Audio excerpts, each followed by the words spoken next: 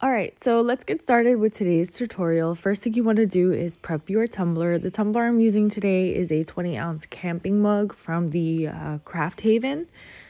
So I've already sanded her down and now I'm going to be adding a nice even coat of this red glossy spray paint. Once that's evenly laid down all over the entire tumbler, we're going to bring it back inside, let it dry for about an hour, and then we're going to go in with the resin application to apply our glitter. These camping mugs can be a little bit difficult to spray paint and glitter, so you want to make sure that you're paying close attention to the handle to ensure that you get the entire handle prepped and spray painted. So you're going to see that I am paying close attention, making sure that I get on the inside of the handle as well as underneath and below the handle. So now we're going to apply the glitter to the tumbler. And of course, I'm using the resin method for this step like I usually do. However, I'm actually going in with the new Fast Set by DIY Epoxy, which if you didn't see my first impression video, then you may want to go and check it out. But if you've seen it, then you already know that I am definitely loving it. I'm still currently using it and will be giving you guys a full on review on what I think of the epoxy and some of the pros and cons. But once that's all spread over, I'm going to use St. Nick to sprinkle that all over the entire tumbler. This is a beautiful color from our Sugar and Spice glitter collection. You can find all of our glitter and other products on www.sugarandspiceglitter.com. You can go ahead and check her out. I've been using this red color for everything. I am absolutely in love with just how she looks, her size, how she lays down, everything. I just love her so much.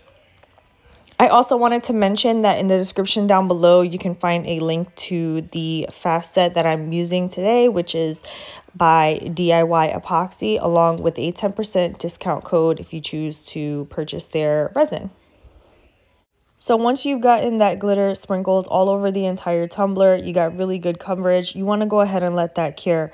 Once that's cured, we're going to go in with our first layer of epoxy all over the entire tumbler. And we're going to epoxy until smooth. For this tumbler, I actually needed two coats of resin to get a completely cute smooth surface before applying my vinyl design. Now for every step of the way I'm going in with the DIY epoxy Fast Set which is one really cool aspect of this epoxy is that you can use it for all layers including your final layer. So that is one of the pros that I really love about this resin so far. So like I said you're going to want to spread that all around the entire tumbler and you want to try and get as much coverage as you can with your resin. We're going to put on two really good coats of resin for this tumbler and then once that is cured we're going to move on to the next step which is applying our vinyl decal. You also want to make sure that you're paying really close attention to the handle for this style of cup can be a little bit difficult to get full coverage on the handle especially with the resin so you may need to apply more layers of resin just to get good coverage on that handle. Again, keep in mind that you do not want to sand your tumbler down if you have too many rough spots or if the glitter isn't covered all the way because if you sand down too too much, you can take away the color and the shine and the sparkle of the actual glitter itself. So before sanding or doing anything else, you do want to make sure that you have a pretty good amount of resin cured on your surface before going in with sanding. After we've gone in with two really good coats of of resin. I do go in with a little bit of sanding around the rim and a little light sanding on the body just so that we can apply the vinyl design to a super smooth surface. So I'm going to fast forward here so you can see what the next step is, which is sanding and cleaning off the tumbler. And then we'll hop in, like I said, to apply the vinyl.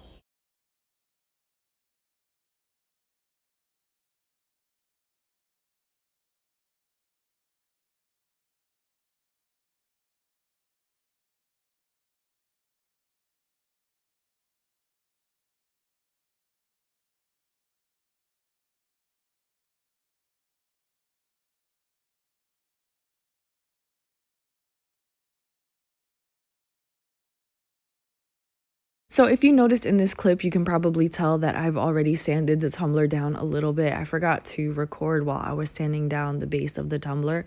However, I just went in with a really quick sanding. But now I'm just going to show you guys how I very lightly sand around the rim of the tumbler. You want to be careful at this part not to go down too, too low or sand down um, too much of the actual resin or glitter. So around the rims, I'm just taking very careful um, care of how much I sand down. I'm feeling along the way to make sure that it's nice and smooth. And that's pretty much it. So now we're ready to move on to the next step. As you can see, we have a really smooth surface. We're ready to apply our vinyl design. I washed it off with soap and water and also sprayed down the epoxy with alcohol just to make sure that we, there aren't any like greasy or oily spots on the tumbler. So I put a little medicine cup underneath the handle of the tumbler just to keep it level so that when I apply the vinyl, it's easier for me to apply it, I guess, on an even surface. Um, if you have one of those tumbler holders, that's even better. But for now, sticking the medicine cup under the handle works pretty well for me. So I purchased these little cute kawaii faces on Etsy. It was a bundle of different kawaii faces and designs. I'm going to see if I can link it in the description down below. I believe I paid like $3 for a bunch of different style faces. I decided to go in with this cute little face with some eyelashes because I wanted my strawberry to be super cute and girly. So I got the one with the cute little eyelashes and I just cut it out with my Cricut Maker. I'm going to apply the face to the front of design and then to the front of the tumbler and then in the back I'm actually going to add a quote that says I love you more than chocolate covered strawberries. Um, I do not show that clip here, but it's pretty basic. I just typed it out in Cricut Design Space and cut it out and then applied it to the back of the tumbler. After I've applied the vinyl designs to the front and the back and I'm happy with it, I'm going to go ahead and seal that in again with the DIY epoxy fast set. Once I let that cure, then we're gonna go on to the next step, which is applying our drip.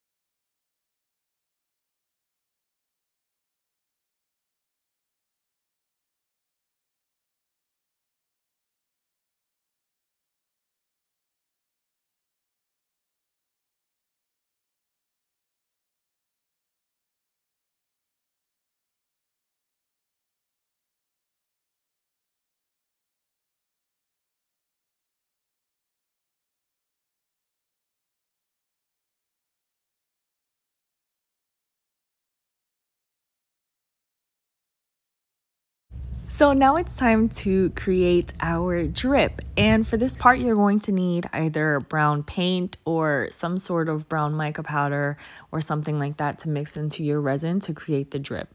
For this particular part, I actually did not have any brown paint um, so I decided to make my own brown. So I took some red and some yellow. I also added some brown mica powder I have and some brown alcohol inks to help me create the perfect chocolate brown for my drips.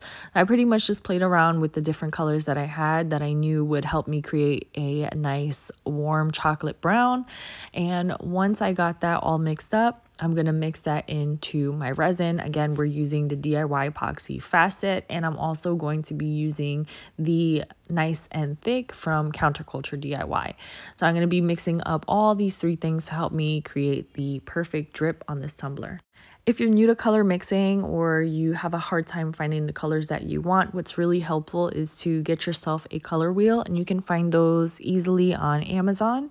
Um, that will help you figure out what colors you need a mix to create other colors and it's really helpful when you can't find a color that you need. So there's a little tip and trick on color mixing and if you want to see any videos on color mixing or how to create different colors, um, then let me know. So I'm going to just let the rest of this clip ride on out so you can see what I do and the steps that I take to help me create the perfect chocolate brown that I am personally looking for. I wish I had exact measurements for you guys at this part, but unfortunately I don't because I'm more of a visual learner and a lot of the times I'm just kind of playing with the different colors and mixtures that I need anyway. But hopefully this part is still helpful helpful to you guys to kind of see the process that I took and the steps that I took to create the brown that I needed to help me create the Once I'm happy with the color that I have in my little cup, I'm going to dip my finger in it and just do a quick little paper swatch just to make sure that I'm really happy with the color once it's dried. So you'll notice um, at the end when I'm done with mixing, I'm going to just do a little swatch for you guys on the paper.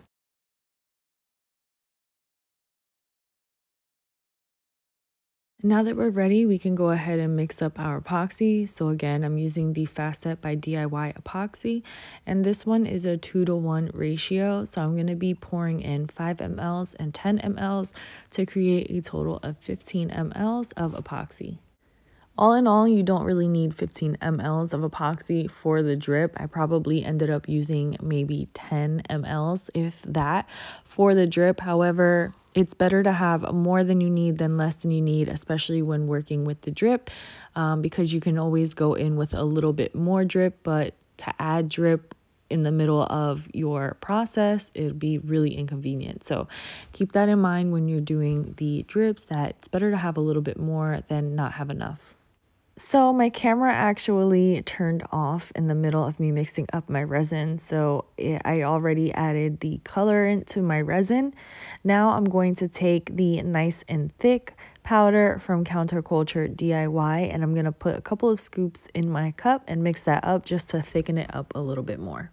So when it comes to the nice and thick, you want to keep adding the powder until you have the consistency that you're looking for. Keep in mind that if you're adding the powder to a fast setting epoxy like this one, then you want to try and move a little bit quickly. Once your epoxy starts setting up, it can start to cure faster than what you're applying your drips to. So keep that in mind. If you're beginning, you may want to use a regular setting um, epoxy rather than a fast setting epoxy because if you wait too long, then your epoxy could just cure altogether in the middle of you applying your drip. So you may want to use a regular epoxy for this step, or you can go ahead and use the DIY epoxy fast set, which does take a little bit longer to start setting up than some other fast set epoxies out there. So now it's time to apply the apply the drips and I do want to mention that I wish at this part I would have let the epoxy harden a little bit more, get a little bit more thicker.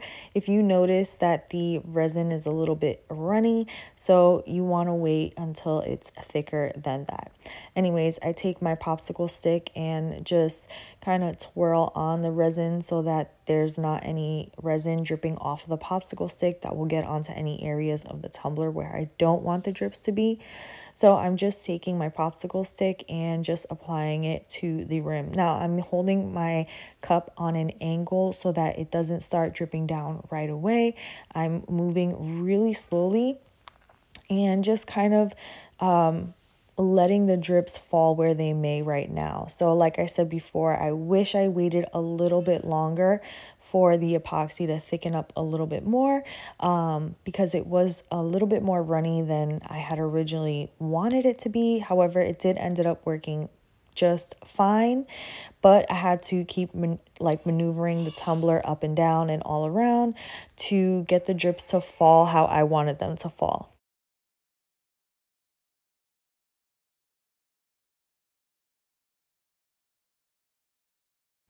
Now, if you notice that your drips are starting to fall down faster than you wanted, what you can do is turn your cup upside down to get those drips to start falling back up or going back up towards the rim of the cup. So you'll notice that I flip my cup upside down to get those drips to kind of pull up back towards the rim and not fall down so fast. Um, here you see where I'm turning it upside down to get them to stop dropping down so fast. So that is a way to get your drips to kind of stay where you want them uh, if you're having this issue. So I'm going to let the rest of this part of the video just play on out so you guys can see how I put the rest of the drip onto the tumbler. I think this part is really beneficial, especially if you haven't done any drips before and you wanted to see the whole entire process. After you've applied the entire drip to the cup, you do want to let it cure. So I'm going to leave this cup curing for 24 hours before applying a top coat of resin. That part is definitely up to you if you want to cover the entire tumbler and the drip with resin again, or if you want to just call it a day and leave it like this, depending on how your drip finishes. I think most people seal in the drip in the entire tumbler again with another coat of resin, but that's pretty much it. Once once you're done with your drips and your final coat of resin, your cup is finally complete. This design was such a fun one to create. I have to mention that it was inspired by Nicole Moon Designs, one of my girls on Instagram. She makes the cutest little marshmallow tumblers, and I was so inspired by her over the winter that I just had to make a cutie little covered, chocolate covered strawberry for Valentine's Day.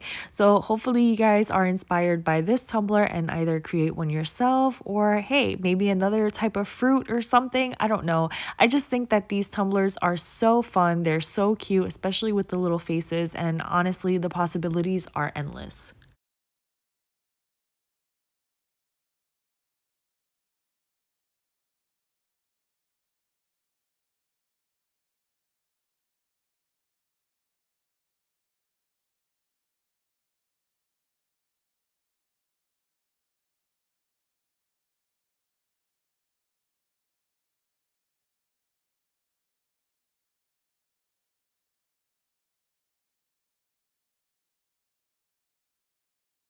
So before the end of this video, I just want to say to you guys that I am so grateful for all of you, for all of you guys who are subscribed to my channel, for all of you guys who are watching this video. I wish you all a happy New Year's. This video is going to be launching on New Year's Day. So happy New Year's to everybody watching.